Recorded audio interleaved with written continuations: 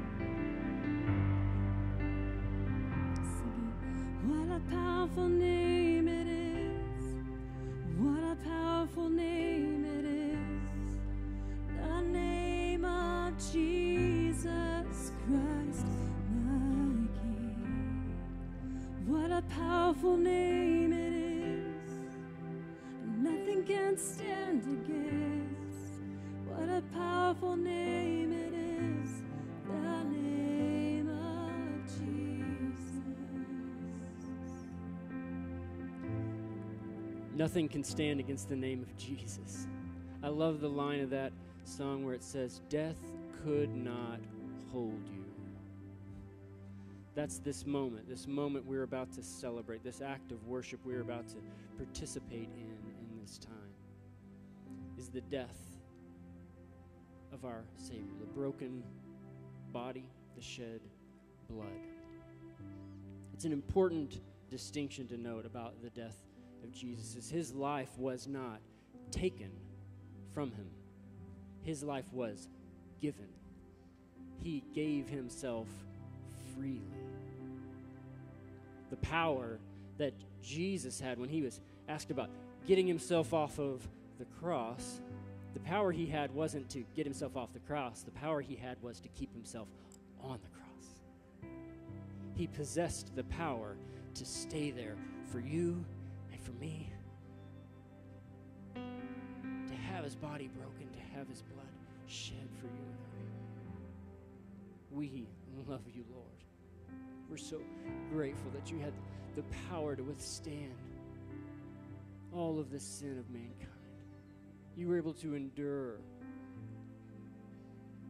We were unworthy, Father, but you are so worthy. You are worthy, Lord. You are holy. You so loved us, Father. You weren't content with us perishing, but that we would remain in your embrace for all of eternity, near you, in your presence, with you, Father. You love us. Luke 22, starting in verse 19, it says, And he took bread, and when he had given thanks, he broke it, gave it to them, saying, This is my body, which is given for you. It's given for you. Do this in remembrance of me. And likewise, the cup after they had eaten, saying, This cup that is poured out for you is the new covenant in my blood. 1 Corinthians 11 26 says, This is us proclaiming the Lord's death until he comes. Here we are telling about the Lord's death, what he did for us, the love that he had for us. And this is a moment that we need to look inward. We need to examine ourselves. Are we with sin? Are we with unforgiveness? Because the Lord says that we drink judgment. We eat and drink judgment upon ourselves if we do this unworthily. So it's time to repent in this moment before we partake. Lord, reveal to us, Father, reveal the sin to us. Reveal the people in our lives, God, that we need to forgive, Father.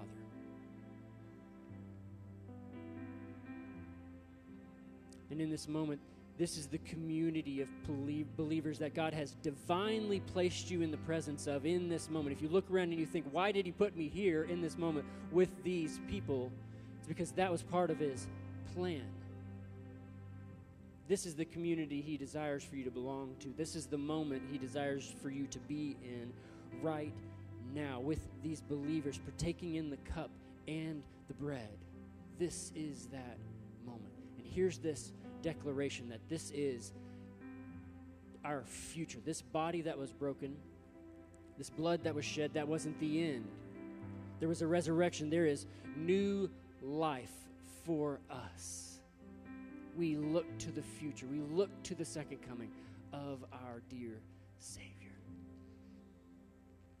Father, thank you for giving your Son to us, for taking our place, for taking on our sins so that we didn't have to bear the consequence of those sins, God, but that He would atone for the sin of mankind. We are so thankful. We were so unworthy, and you did this work for us out of your extensive, immense love for your creation. We love you, Lord. This morning we identify symbolically in the broken body and the shed blood, Father. Let us remember what you did for us. let us remember what you did for us, but let us also look forward to the return of the Savior, the return of the Son. Thank you, Lord. Amen. Amen. As this next song begins, just you, or those of you who are going to help us uh, pass out the elements, you can come forward if, if you would at this time. And as this song plays, just if you would line up in the aisles and just kind of come down and, and partake in that moment, but don't just just take it out of ritual. Examine, examine yourself. Think about what God's done. This is that moment.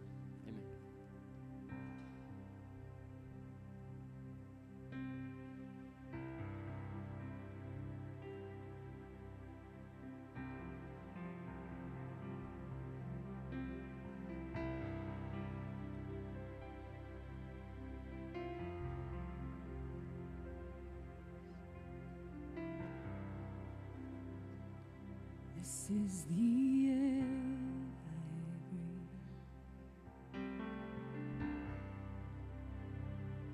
This is the air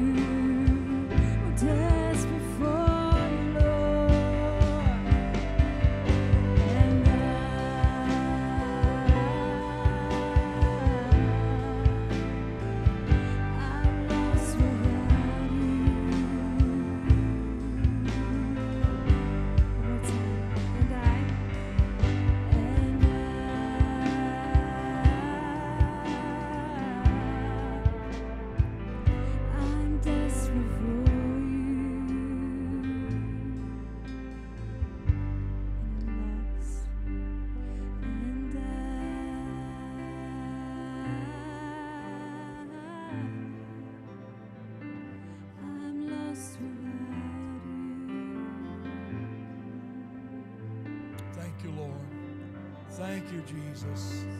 Thank you, Jesus. Hallelujah. oh, bless the Lord. Bless the Lord. Father, the song says it all. We're desperate for you. We are absolutely lost without you. We're not telling you anything you don't already know. We're acknowledging the fact. We're identifying with that.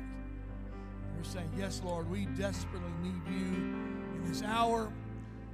Know where to turn. We don't know where to walk. We don't know what to do. We're lost without you. God, with you, you're giving us direction. Your voice is speaking to us. Your word is clear. We follow the movement of your spirit in our lives, God. And we give you praise. We honor you and bless you. You are the air we breathe. Thank you, Lord. You're our very bread that we eat. Thank you, Lord, for life. Thank you for this time at the table just to worship you. Lord, we pray for those at home right now and in hospital rooms and nursing homes. Maybe they're watching today, maybe they're not. But Lord, you know every one of them, our friends, our loved ones. And we speak blessing over them now. We just pray that your word would go and heal them and touch them raise them up physically, emotionally, spiritually. Let them receive your healing virtue.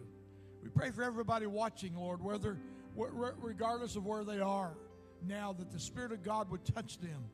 The same Spirit that's been evident in our communion time here at this table in this building would just be evident in their lives right now. Supernaturally touch them, I pray.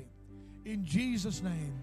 Restore hope, restore courage, restore victory, Lord. A sense of what has been lost in their lives. Restore it and bring it back, I pray, a hundredfold in the name of the Lord Jesus. And everybody said, Amen. Amen, amen, amen. God bless you as you're seated this morning. amen. What a joy it is to worship this morning and be led by uh, Amber, Amber Keith, my daughter in law. And um, this takes me back a ways, Amber, a few years ago. Amber was our worship leader when we were downtown in the old building on 14th Street. And then she and Michael moved away to Texas and and boy, am I glad they're back now. What a blessing uh, this couple is to our church. Amen. Would you agree with that? Praise God. Praise God. Amen. So thanks, Amber, for leading in uh, Sherry's absence today. And um, now she's going to shift gears and put on her children's church hat. She goes from worship leader to children's director, okay? So I guess it's time. You ready, Amber? You caught your breath? All right. All the boys and girls here, 4 through 12, make your way upstairs. Would you please? Right up this way. There they go. My goodness, it's a bunch of kids. Hallelujah. Amen. Bless you, dear. Give them a big hand, everybody. Go ahead. That's all right. Yep. Yep. Good, good, good. Wonderful, wonderful, wonderful. So, so Wednesday night here at the church, six o'clock, ladies' Bible study. If you ladies are getting in on that, you know what it's like. Really, really special. If you've missed out on it, there's still time to come on, and you can grab a book. You can jump in anywhere.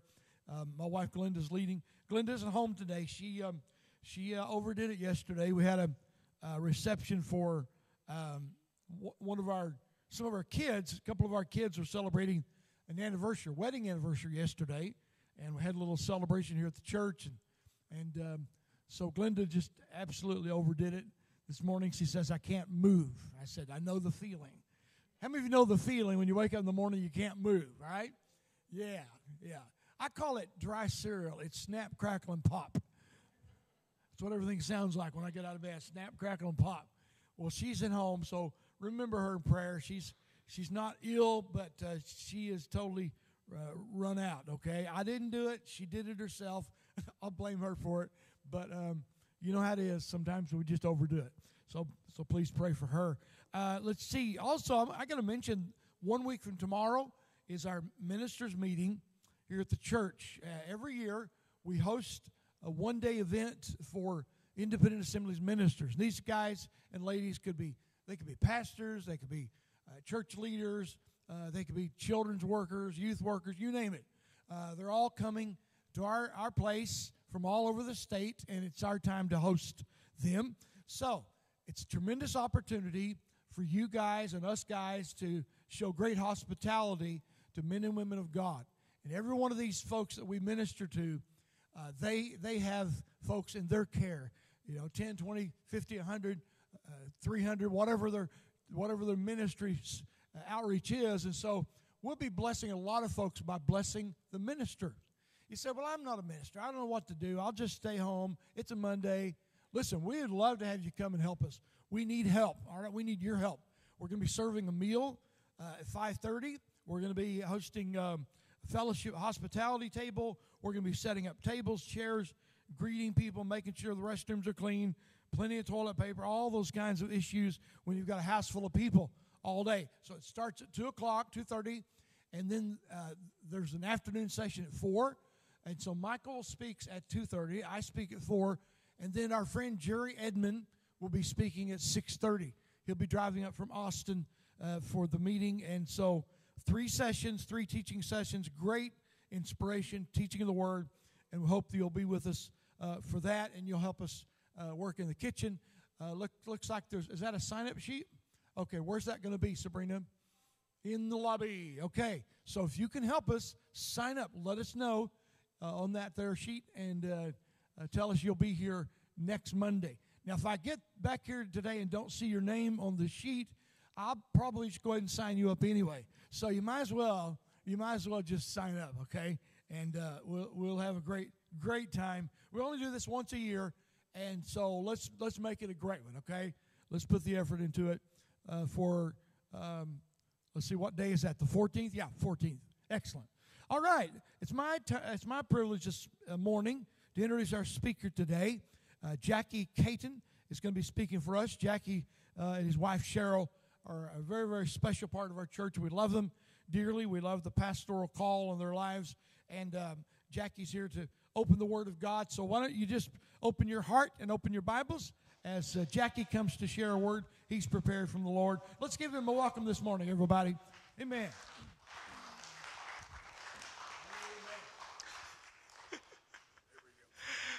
Thank you, Pastor. Amen. God's good. Is God good? God's good, isn't He? He is. Uh, got a song this morning I'm going to sing first. That, uh, go ahead and put that verse up if you would. There's a verse, book of Isaiah, chapter 1. This is in the NIV, but if you look at it in any translation, it's very close to this. In, in the KJV, you can leave that up. That's fine. In the KJV, the one that I started out with many, many years ago, and many of us did, I'm, I'm liable to use just about any kind of, any translation. Don't have a problem with hardly any of them. I just, it's the Word of God. And I believe that God can use it in our lives, no matter how man tries to mess it up. But this is the Word of God as it came to Isaiah.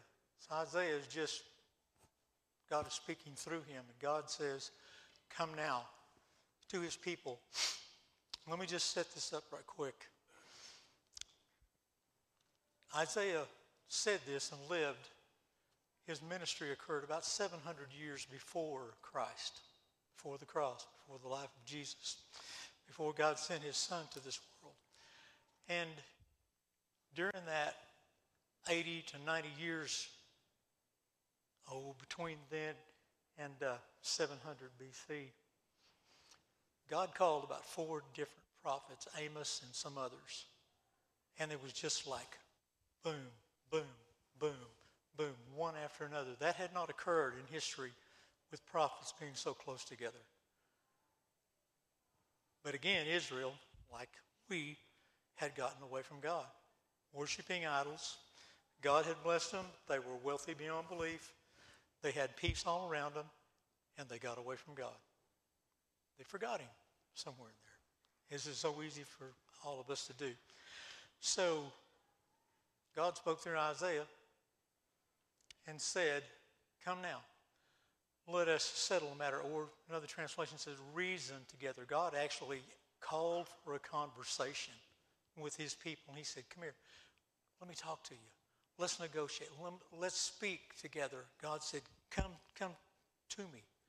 And he said, Though your skin, your sins are like scarlet, they shall be as white as snow. Though they are red as crimson, they shall be like wool. And as so often happens, until God just, and they did end up going into captivity. One of the sad things is, immediately after this, well, Isaiah had already answered the call. God said, who will, who will go for us? And Isaiah said, Pick me. He was miserable from the condition of the country. He was miserable. God had, they thought God had forsaken them, but as, usually, as always happens, they had forsaken God. And God said, Come to me. So Isaiah came to God. Uh, and a very tragic thing happened. He said, God said, okay, so I got a ministry for you, I got sermons for you to preach. And he said, okay, as this, we always want to qualify our condition, God. He said, how long? Listen carefully. God said, and this is in the scripture, God said, until the city is empty. He said, they're not going to listen. Are you listening to God today? I know Christian after Christian. I love you. I love God's people. I would not rather. I would rather be here than anywhere in my life today. I love you. You have this church has so readily accepted us and loved us. I feel more loved here than I have felt in decades. As, sad as that is, I really do feel loved here.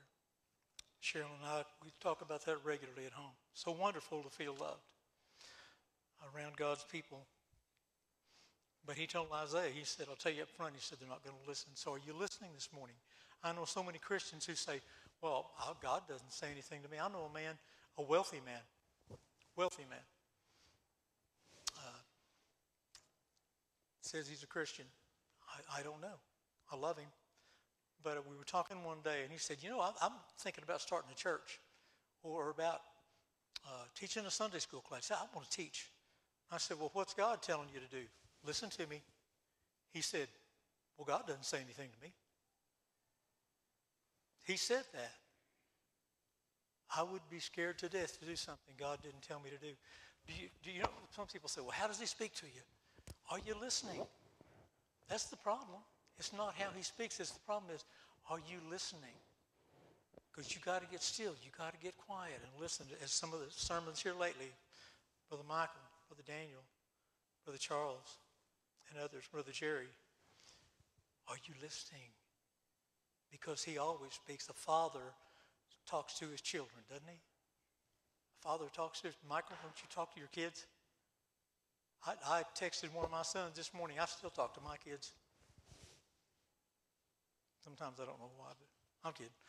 But uh, I, I texted one of them this morning and said, Keep me in prayer. Be preaching this morning. He said, done, Dad. Not all of my children are serving God. Not all of them are saved. They were all raised in the same household, but not all of them are serving Him. Please pray for my kids that aren't. Amen. Thank you. I'm going to sing this song. It's called The Invitation. And then we'll get into the sermon. Annie.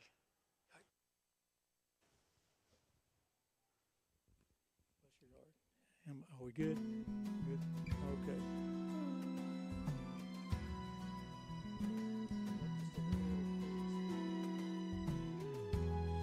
In the palace, in the land of mercy, the King looked down from his throne.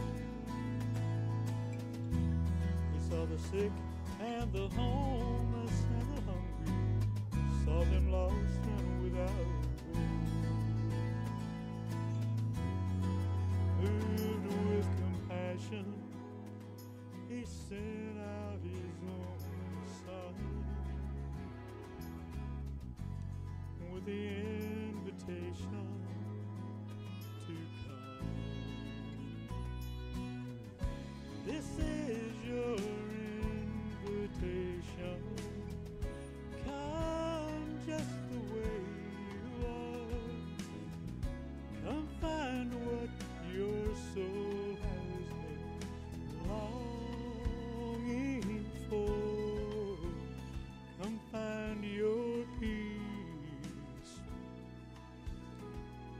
Come join the feast. Come in, 'cause this is your invitation.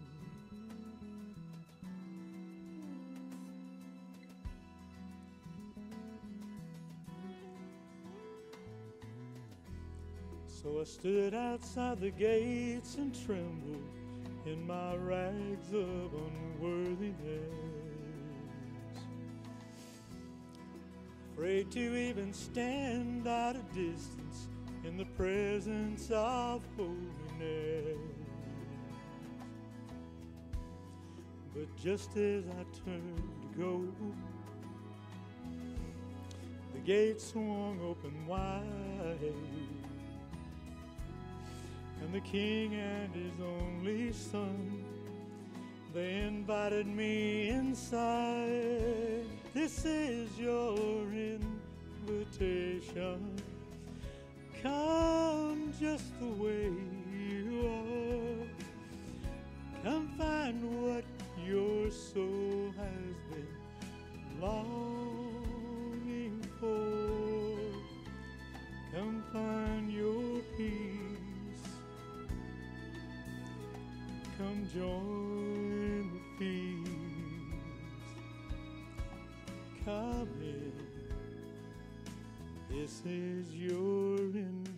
So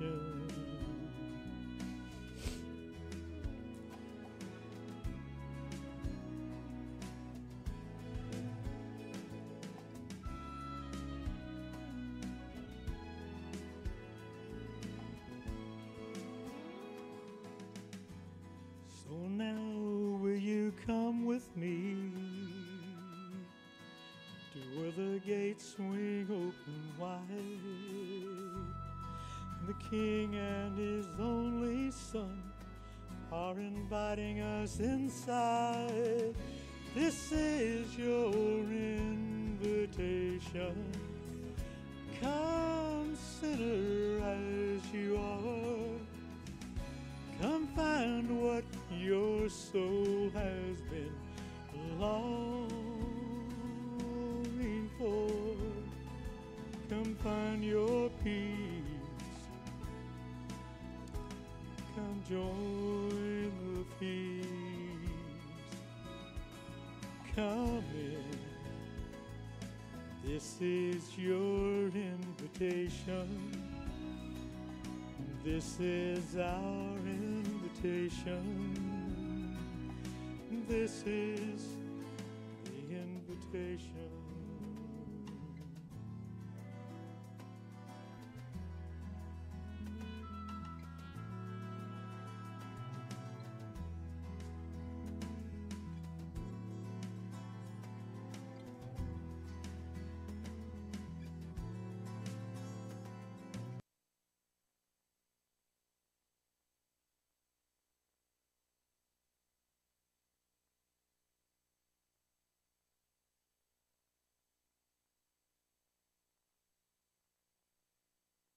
My age, you don't waste words. Some of you are going to end up in hell. Some of you out there, maybe, maybe some of us in here. Just because you've come to church this morning doesn't mean you're going to heaven. The only way you're going to heaven is if Jesus Christ is the Lord of your life. You say, oh, yeah, I heard about him. Or, boy, I went to a good conference and it was a good conference and I felt the presence of God, but you're not listening. You're not listening to him. You're not welcome. Jesus said, My sheep know my voice. And another they will not hear. Some people are just they're just running through life listening to their flesh, going here, going there, doing this, doing that. I'm going to talk about Jesus in a little while. Is that okay? That's pretty good, isn't it? Surely I can't mess up talking about Jesus. this is something someone else wrote. He is the first and the last. Listen carefully the beginning and the end. He is the keeper of creation and the creator of all.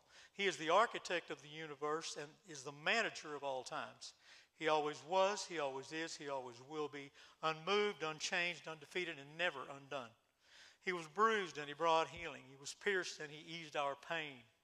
He was persecuted and brought freedom. He was dead and he brought life. He's risen and he brings power. He reigns and brings peace. The world can't understand him. They don't want to. The armies can't defeat him. The schools can't explain him. The leaders can't ignore him. Herod couldn't kill him. The Pharisees couldn't confuse him. And the people couldn't hold him. Nero couldn't crush him. Hitler couldn't silence him. The New Age can't replace him. And non believers can't explain him away. Herod couldn't kill. I went back to that, didn't I? I like that part especially. He is light, love, longevity, and Lord. He is goodness, kindness, gentleness, and God. He is holy, righteous, mighty, powerful, and pure. His ways are right. His word is eternal. His will is unchanging. And his mind is upon his people. He is my Redeemer. He is my Savior. He is my guide, and He is my peace. Amen. He is my joy. He is my comfort. He is my Lord, and He rules my life. I serve Him because His bond is love, His burden is light, His goal for me is abundant life.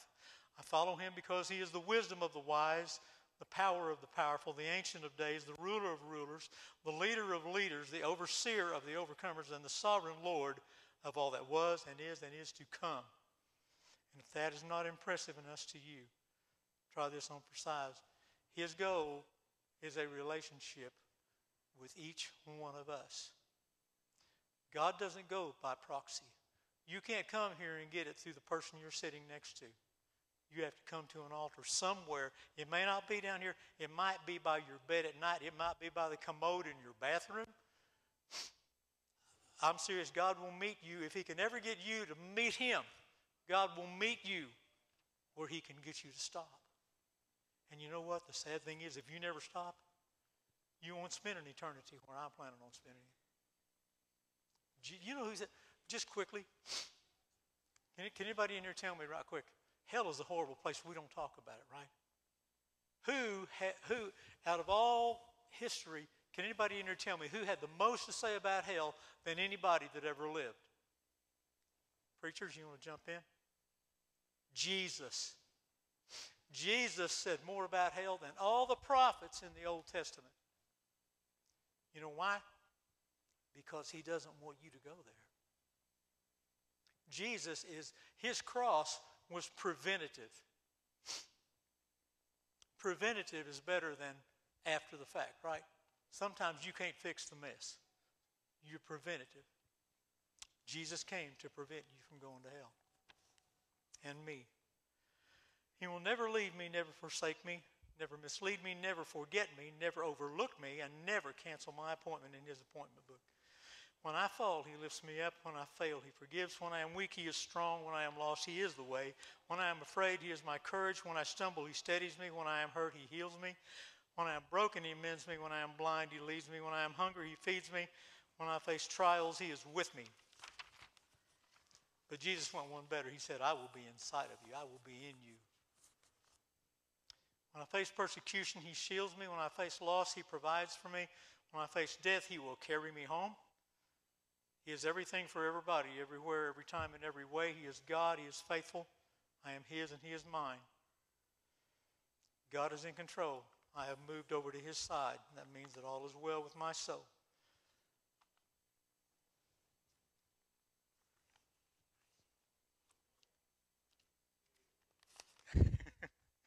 He's good. I'll tell you, a few, uh, as I was sitting and thinking about that one day, just portions of Scripture Old Testament, New Testament that talked about who Jesus is began to come to my mind. I started writing them down, and here's the ones that I wrote down that I just, I know there's more because I could just remember these from Scripture. They just came to mind. I, I'm not going to, I don't have the uh, text, but I can assure you they're there. If we need to look them up, we can uh, after service. I will not preach something that's not, matter of fact, Brother Mickey or one of you other ministers, if I say something you say, that doesn't sound what right, you just jump in, okay? We're talking about new beginnings. That, that really spurred me. I don't know where you're going to be in this, Daniel. Daniel, you might get to do the cleanup on this again like you did last month. We'll just leave you with nothing, you know. But uh, you did a wonderful job. Amen to the sermons I heard last month. I just want to tell you, church, I am the oldest one. I've been in, not in ministry longer than some, but I've been in church all my life. I've never heard better preaching, never heard more studied men in my life than what we have in this church. He is the Lamb slain from the foundation of the world. He is wonderful. He is counselor. He is mighty God. He is the bread of life. He is the water of life. He's the everlasting God. He's the Alpha and the Omega. He's the beginning and the end, the lion of the tribe of Judah, the I am, King of kings and Lord of lords, Messiah, Son of man, light of the world, true vine, way, the truth, and the life, the resurrection and the life, Son of man, Son of God, friend of sinners, Lord of the harvest, awesome God, Savior of the world, our reward, the good shepherd, the door of the sheep, the breath of life, my Lord and my God, the Christ, the Son of the living God, the image of the invisible God, firstborn over all creation, head of the body of the church, the bridegroom, firstborn from the dead, the express image of God's person, the propitiation for our sins. He became sin who knew no sin. He actually became your sins on the cross, my sins on the cross. He was called accursed, a lamb led to the slaughter, an offering for our sin, a tender plant, a root out of dry ground, the arm of the Lord, despised and rejected of men, a man of sorrows, servant, righteous servant, Lord of all, the brightness of his glory, heir of all things, and the rose of Sharon. And there's more, and I don't have those. These are just ones that came to mind. I didn't look them up, I know they're there. Now I want to go to 2 Corinthians 5 and 17 for just a little. You want to get your Bibles, or I didn't give the scripture to. Uh, Sister Sabrina. But if you want to look it up, we're going to read a little there and tell you what's on my heart. Haven't really told you what's on my heart yet this morning. Just kind of gotten started.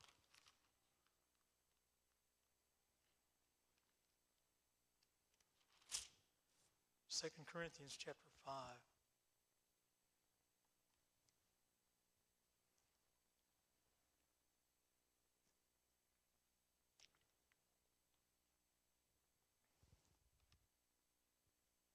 Everybody okay? All right. If you're okay, raise your hand. All right. Okay. God's been good this morning. I'll try not to mess it up. God's very strong, very powerful in our worship this morning. very grateful for that. As you're there at 2 Corinthians chapter 5, a couple more things. In the last 50 years, I'll give you some facts. I like the way Daniel used that, and, and Michael does too. I think everybody, we kind of got used to the internet and Google and all them, and we use those facts and things that we learn. In the last 50 years, there have been 3.9 billion. In the last 50 years, 3. Point, this is a matter of fact, 3.9 billion Bibles sold throughout the world. The next book in line that sold was 820 million. So that's like, so just about a fifth of as many as the Bible. And uh, that was some ruler who was a horrible person who killed a lot of his people. And the next one after that was 400 million for Harry Potter. So interesting. Um, books written about Jesus easily number into the tens of thousands, No one else get close, even gets close. No one gets close throughout history.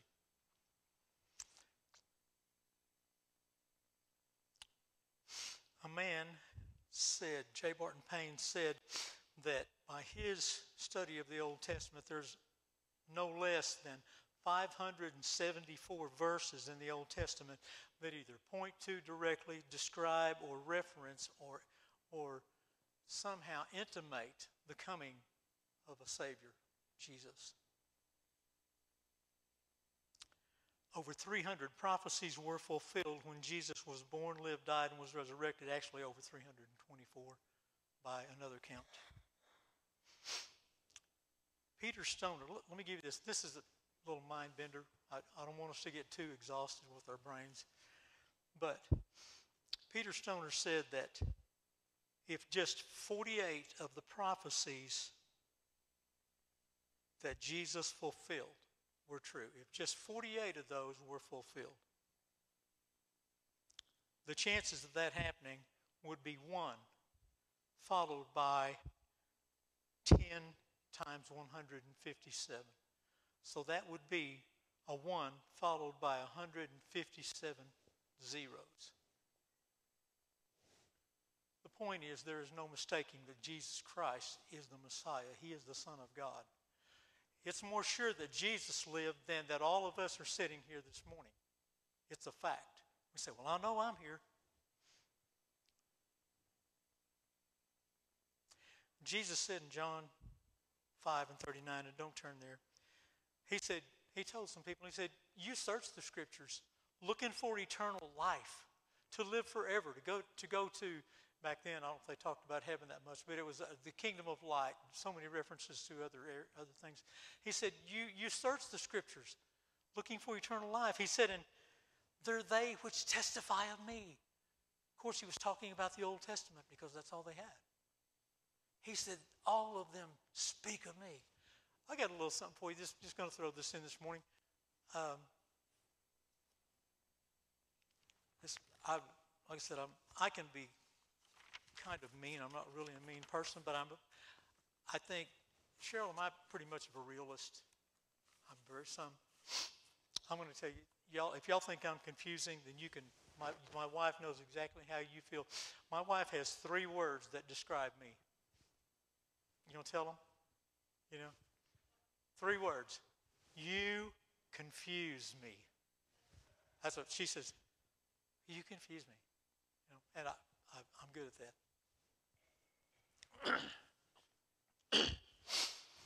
The Bible says that God has a, He's one of the peculiar people. Well, sometimes He just has downright weird people, you know, strange.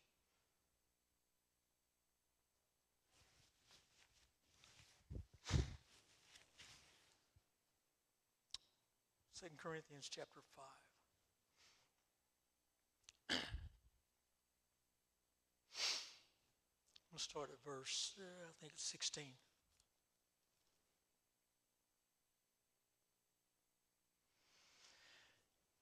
talking about new beginnings. Sometimes every day is a new beginning for me. You know, if you get up in the morning, first thing you do is take a pain pill, and two hours later you take another one. Todd, you might empathize with that, after because I know after you're now. I'll tell you, this guy's a hero to me. When I had, and uh, Sandy said he complains a little, whines a little, but I, I was on crutches and a walker for you know a month after I had mine, and he walks into church two weeks later on his knee, and I'm like, wow. Because I can tell you the pain from a from a knee replacement is just amazing. How'd you like everybody like a little bit of medical science right quick? I'm gonna give you this.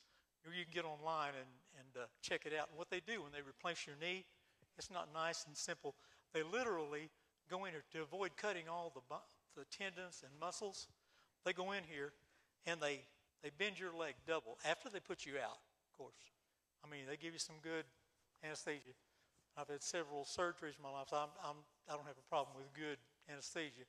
I'm like, give me all you can. You know, don't wake me up any sooner than you have to.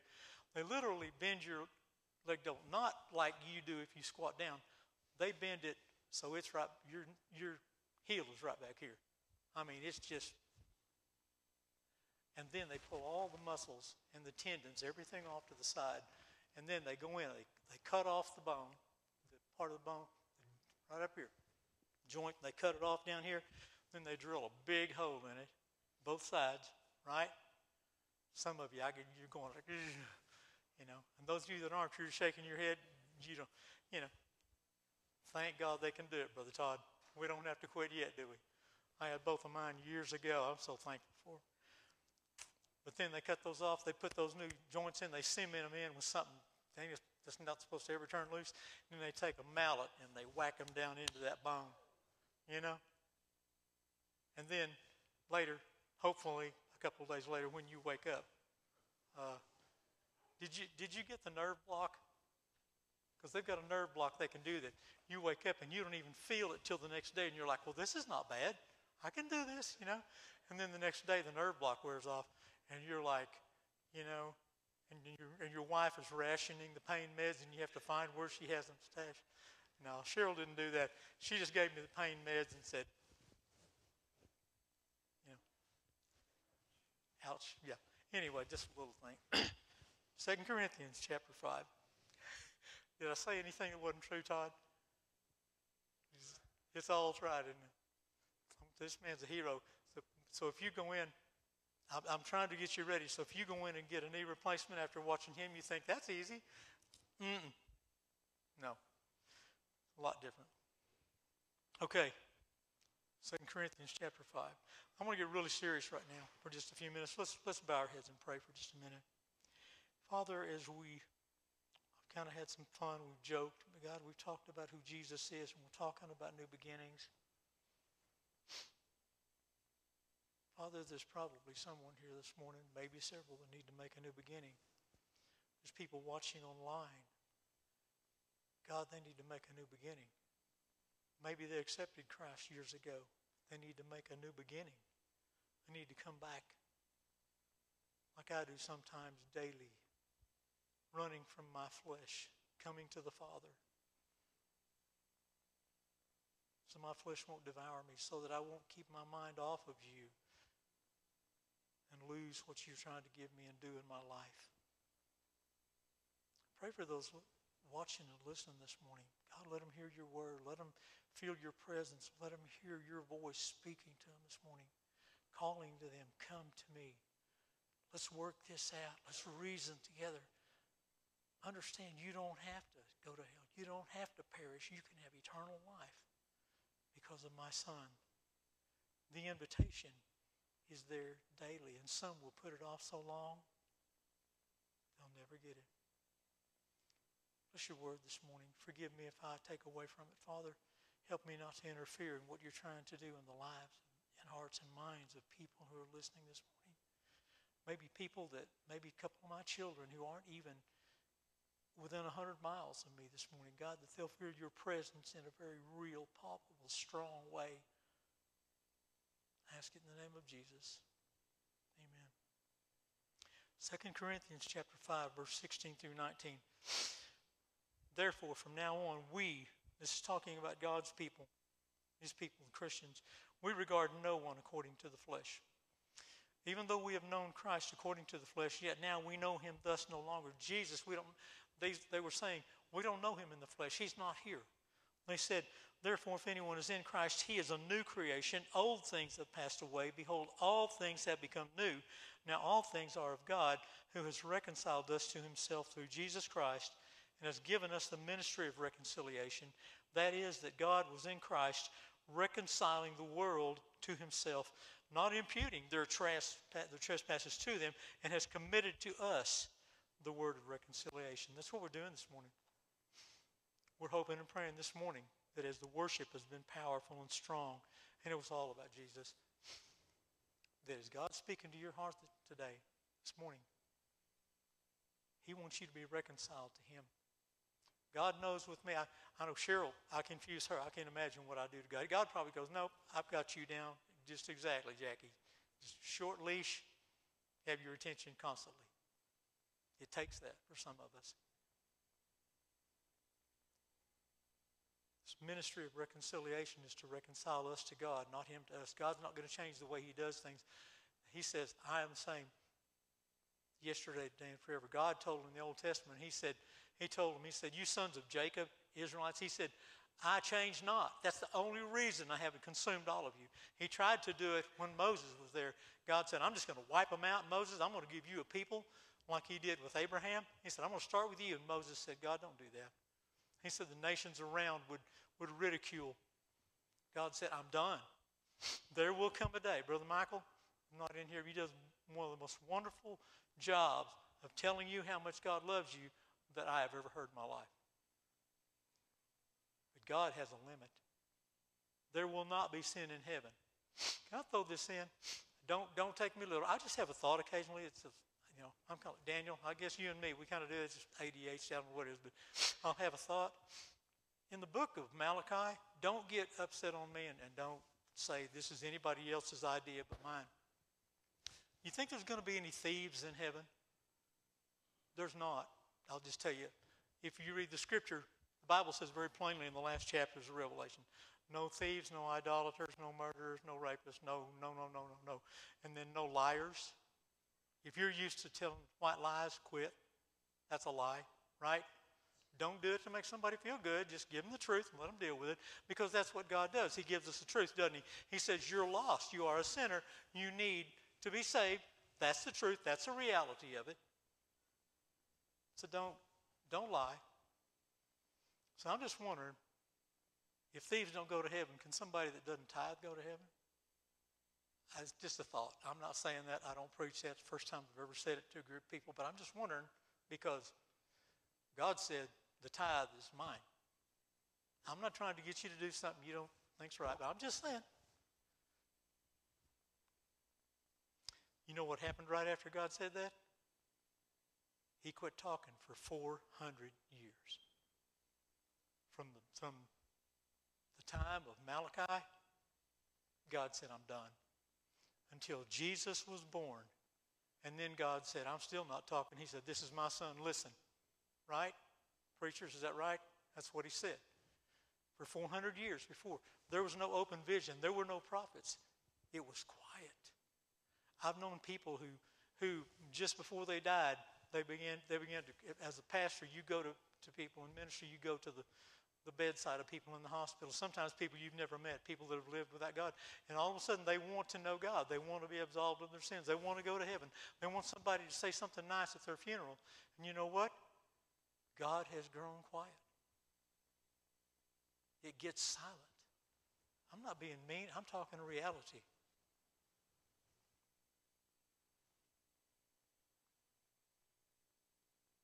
Bible says God is not willing that any should perish, not one. If you go to hell, you're going to do it. I don't know why.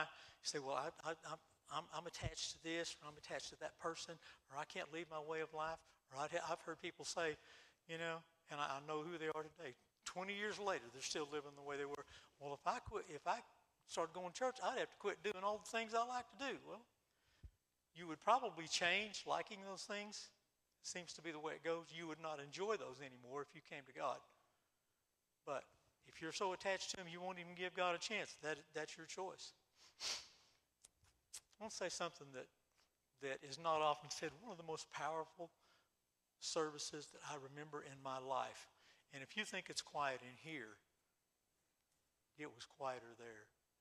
in a church not too many miles from here, and it was probably almost 40 years ago, literally. I never forgot it. The pastor was preaching and he came to the end of the service and and uh, gave an, was going to give an invitation. He said, he said, I want all of the people who are Christians. He said, I want you to come to the front of the church. And it was a large number. It was a fairly small church. But many people came to the front and they stood at the front of the church. He said, I want you to turn around and look, look out. And it was pretty honest. There were some people who didn't come. You know, sometimes there are people that'll come, well, I don't want to be alone out here, so I'll just go up with them. But they turned around. And he said, I don't want to be mean, he said, but I want you to understand, folks. He said, those of you that are still standing there, and you've been honest enough just to admit that you've never accepted Christ as your Savior, he said, you're not going to you're not going to live forever with this group of people.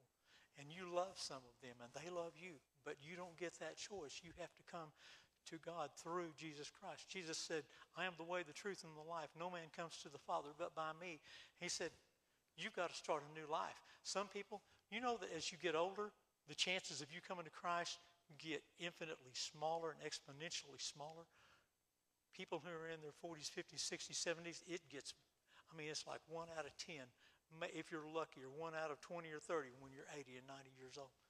People are so set in their ways. Well, that's scary to me. I'll tell you, hell scares me. If it doesn't, you don't know what it's about eternal separation from anybody and everybody to get back to that service, this is for drama, okay, for effect. There was a fairly young couple sitting about three rows back 40 years ago, burned into my brain, Pastor. You've got services like that, don't you? Burned into your brain when you knew God was calling somebody.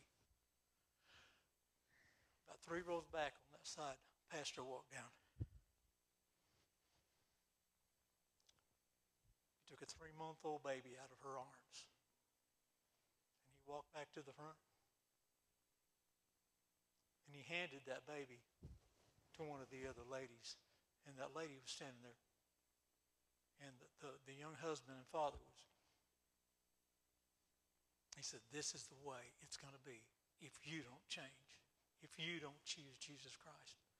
This is the way this is going to end. If you have a grandchild upstairs, today, or a grandbaby down here today, or a niece or a nephew here today in junior church, and you're not a Christian, when you die, you'll never see them again. That's Scripture. That is the Word of God. That's a very sad fact. But that's the truth. If you don't come to Jesus Christ, it'll change your life. I won't lie to you. He said you'll be a new creature. Things will begin to change this side and that side and in your life. But I will tell you, you will be filled with such a joy and a peace. That song, Come Find Your Peace. Come join the feast. You know there's going to be two feasts? There's going to be a feast in heaven. There's another one.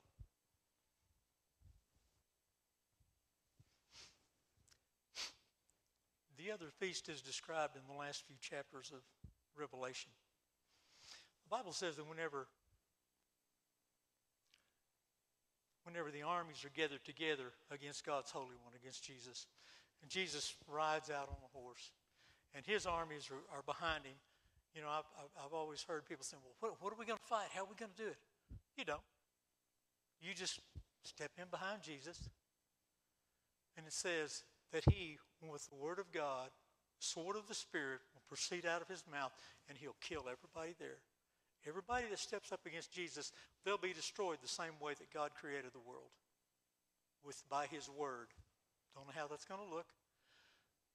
But just before that happens, angels or God calls for all the fowls of the air, all the vultures, all the buzzards, all the hawks, everything. The Bible, the Bible says they call for all of them and says, Come on, come, come.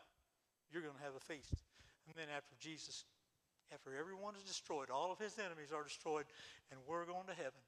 He is triumphant over all. They have a feast. The vultures do over all of those. And that'll be that could be you. Well, that's not very nice. I'm telling you what the Bible says. There's a lot of people. One of my sisters, and I love my sisters. My two sisters are Christians.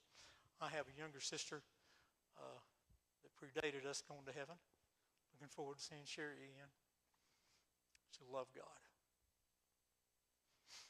One of my sisters told me several years back, well, I just really struggle with reading the Old Testament. I just don't understand how God could kill those people.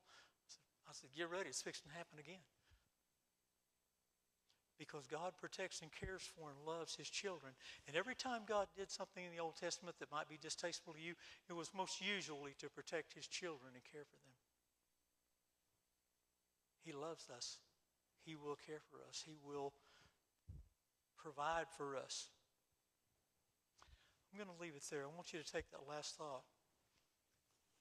If Jesus is not these things in your life, the Bible has described him in every way imaginable and possible.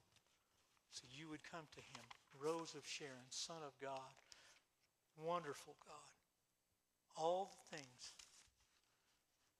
this is just the first Sunday of preaching on new beginnings. This is a good time to make a new beginning. And I, as pastor has done many times, and un, unhappily and sadly probably will more, or Daniel, Michael, Charles Chenault has done. I may stand here this morning and ask you to come to Jesus Christ because if you don't, you'll never see your grandchild, your great grandchild, your niece, your nephew. You'll never see them again. You're not going to go to heaven on somebody else's coattails. You can't do it. You can't. Some of us may see our grandchildren there, and some of our kids won't be there. I don't know how that's going to play out. I know I won't stop praying until God takes me. But I'm broken every day for some of, for people I know, for some of my kids, just broken. This morning, I was standing there trying to sing and worship, and I was just broken thinking what they're missing.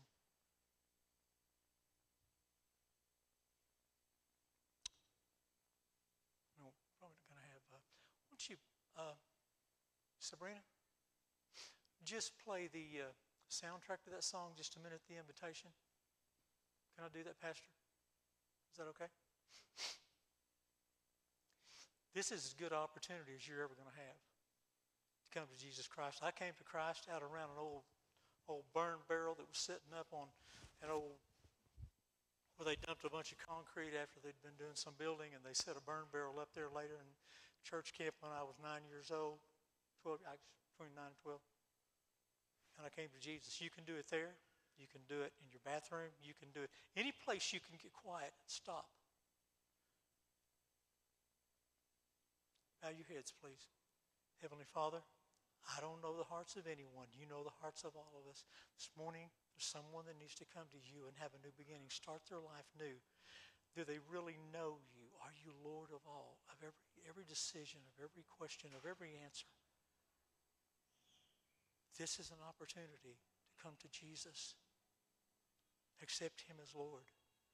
Then they can take it home to their children, to their spouse, to their aunts, uncles, nieces, nephews. They can tell others about Jesus. This is the invitation. I pray this morning you won't wait too long. You might say, "Well, I've made it a long time now. I've made it. I've made it this many years. I can. I can make it a few more. I can make it another Sunday. It'll be next time. It'll be next Sunday."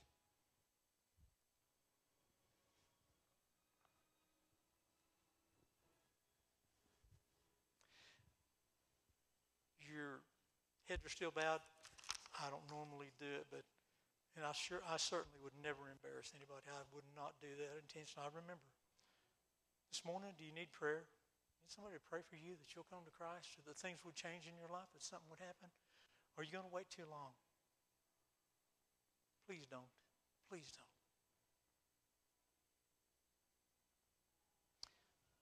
Pastor, would you come? Thank you. Thank all of you.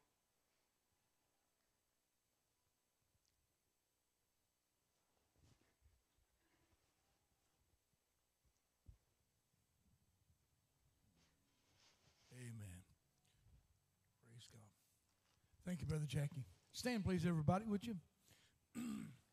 Heard a message this morning about new beginnings. This is our theme for the month of March. This is a new beginning. Maybe you need a new beginning in your marriage, maybe in your business, Amen. maybe your personal life, Amen. maybe your spiritual life, like he's talking about. If any man be in Christ, he's a new creature. Amen. Old things are passed away, all things have become new. Right? Amen. God gives us a new name and a new home. It's all new. It's all new. I'm, boy, I'm glad to hear that. I made a mess with the old. I don't want to take the old with me any further. Amen. Let's just do this uh, together. I'm going to I'm to just give you the blessing of the day and then just ask you to go in God's peace. And one thing I'd like for you to do before you get out of here is make a friend. Would you do that? It's not hard to do, doesn't cost anything. Just take a moment and greet someone, make them feel, you know, make them feel welcome with a smile and a greeting. Don't just walk past them like, like you're mad at the world, but take the time to greet somebody, okay? And uh, let them know that you care about them. And I know God will bless that. Are you ready for the blessing of the day? May the Lord bless you and keep you. May the Lord lift up his face upon you, give you be gracious unto you, and give you his peace. May angels go before you and goodness and mercy follow you all the days of your life. In the name of the Father, in the name of the Son, in the name of the Holy Spirit. Amen. Amen. Amen. God bless you, everybody. Thank you, Jackie, for a great word. Praise God. Amen. Amen. Good, good, good. Good stuff.